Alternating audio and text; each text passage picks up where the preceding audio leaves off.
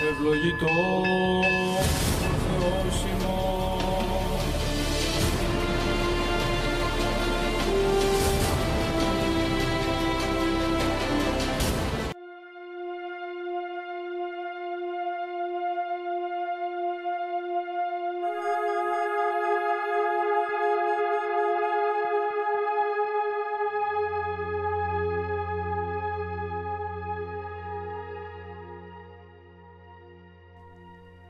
Возьмись за молитву и покаяние, ибо больше нечего ухватить в этой скоротечной жизни, подобной падающей звезде.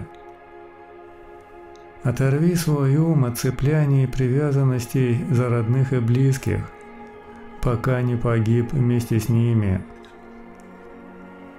Возвысь свой ум над колючими побегами мирских помышлений – закрывающих твой кругозор, и соедини его с божественной благодатью, которая приводит людей к свету истины.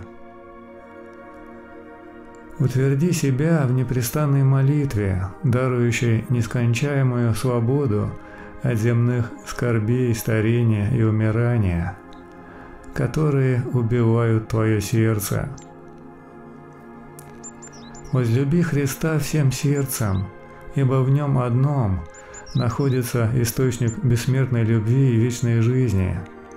И принеси эту любовь, как благоговейное приношение своему старцу, проливая слезы благодарности за свое спасение. Не позволяй проникать в сердце ни одной мысли, не только очень грубой, но даже едва уловимой. Не позволяй духовному зрению оскверняться образами мира сего, не только в яве, но даже в мечтаниях. Не позволяй уму отступать от евангельских заповедей не только на большое расстояние, но даже на волосок. Нельзя действовать самочинно по своей воле – не только в великом, но даже в малом. Не позволяй своему эгоизму поднимать голову. Совершенно извергни его из души и никогда не поддавайся ему не только на время, но даже на мгновение.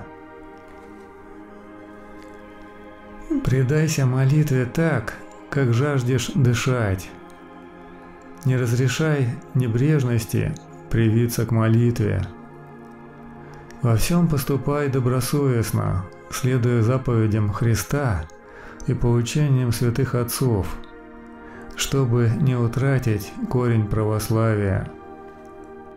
Снова и снова проверяй себя, не уклонилось ли сердце от Евангелия, не поступает ли оно самочинно, не позволяешь ли ты помыслам запутывать твою душу.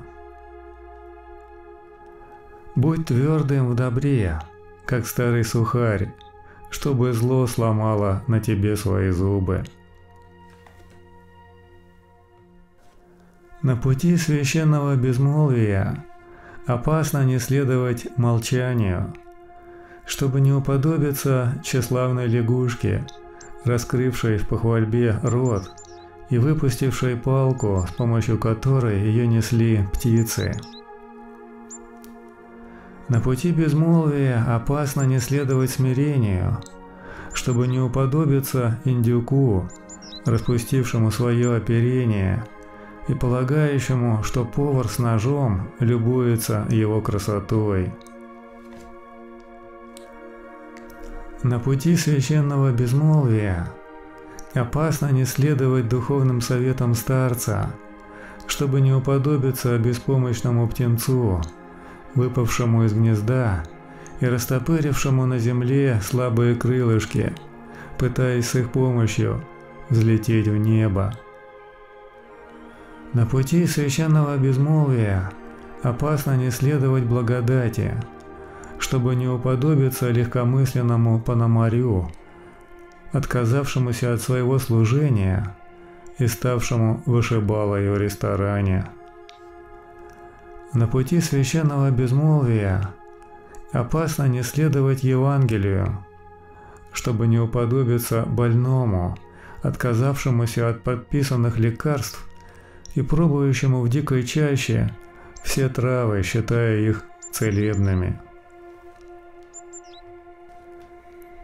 Как внезапно подворачивается нога у невнимательного на горной тропе, так внезапно ломается целая жизнь у оставивших духовную практику.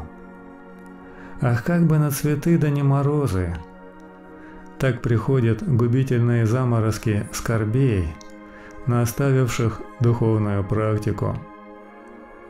Как внезапно для самой себя рыба, попавшая на крючок, оказывается в садке у рыбака, так и ум, оставивший духовную практику, оказывается в когтях у демонов. Как заяц, попавший в окружение волков, не чает выбраться живым из их зубов, так и угрозы и опасности окружают того, кто оставил духовную практику. Как жаворонок, недавно свободно порхавший в небе, попадает в сеть птицелова, лишь спустится на землю. Так попадает в сеть болезни и смерти тот, кто оставил духовную практику.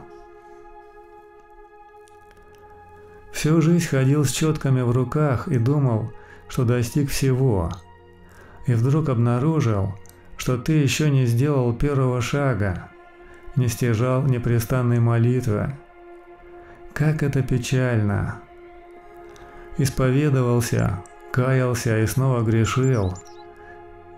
Все как все, а на исходе жизни вдруг обнаружил, что исповедь и покаяние – это нечто совершенно другое. Это совершенное оставление грехов и полное отречение от них. Но на это нет уже времени. Как это печально. Много лет ходил в церковь, молился, причащался и вроде бы чувствовал себя спасенным, как вдруг обнаружил, что дурные помыслы и страсти нисколько не уменьшились. Как это печально. Читал Евангелие и труды святых отцов, слушал проповеди и, казалось, все понимал правильно – а слова о спасении давно знакомы. Как вдруг постиг, что понимал только слова, а чистоты сердца как не было, так и нет. И это пронзило болью твою душу. Как это печально! Долгое время молился всем святым и угодникам Божиим, почитал их как родных, и чувствовал себя тоже почти святым, как вдруг обнаружил, что у святых благодать, а у тебя ее не было и нет. А начинать духовную практику уже поздно. Как это печально. Странные противоположности. Чем больше ты любишь Бога, тем больше родные и близкие – хотят, чтобы ты любил только их. Чем больше твое стремление отречься от мира, тем больше в нем появляется срочных дел, которые нужно сделать незамедлительно. Чем больше делаешь добрых дел, тем больше твое тщеславие поднимает голову.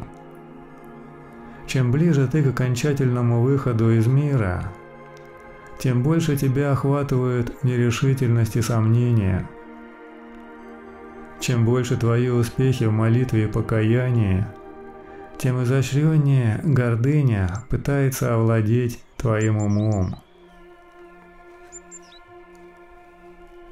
Пусть ты разочаровался в этом мире, но если ты не ушел в уединение, это не изменит твою жизнь. Пусть ты держишься старца, но если живешь сам по себе, это не изменит твою жизнь. Пусть ты даже стал великим постником и молитвенником, но если остаешься самовлюбленным эгоистом, это не изменит твою жизнь. Пусть ты даже обрел покаяние и смирение, но если ленив и нецелеустремлен, то это не изменит твою жизнь. Пусть ты сидишь в затворе с четками в руках, но если твое спасение ставишь выше спасения других людей, ты не сможешь прийти к христолюбивой любви, и такое поведение не изменит твою жизнь. Для того, кто хочет избавиться от застарелых пагубных привычек, лучшее средство – уединение. Для того, кто хочет обрести плач и слезы искреннего покаяния, лучшее средство – память смертная. Для того, кто хочет избавиться от коварства дурных помыслов, лучшее средство – Иисусова молитва.